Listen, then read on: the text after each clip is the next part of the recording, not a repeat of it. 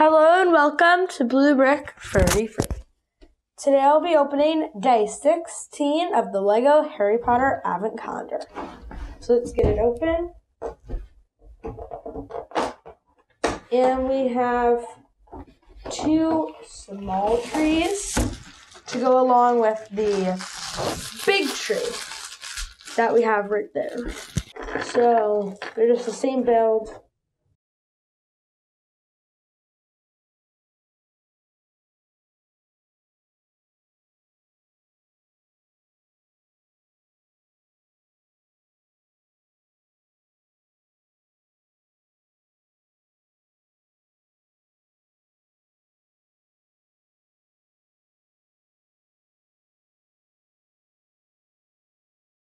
Okay, so I'm not sure why they only have an extra piece of the blue one.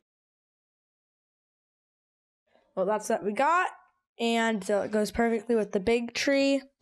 And subscribe so you don't miss me opening day 17 of the Lego Harry Potter Advent Calendar.